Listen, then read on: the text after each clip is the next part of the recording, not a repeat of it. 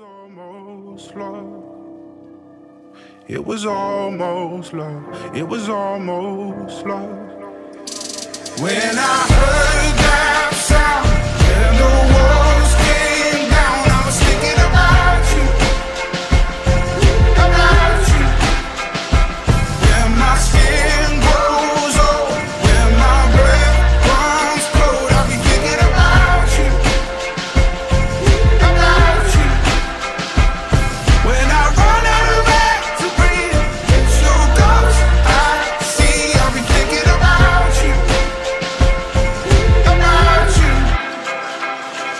It was almost love, it was almost.